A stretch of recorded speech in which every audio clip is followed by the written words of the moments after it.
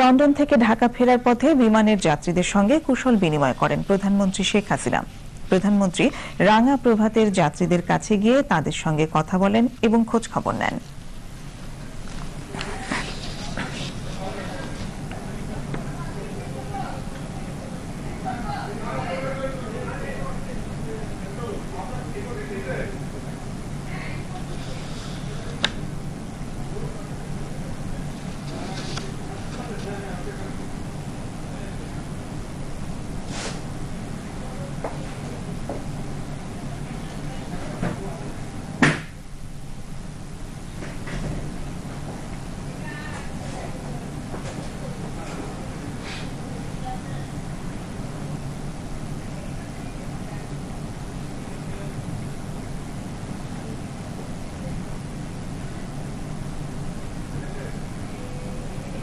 Thank you.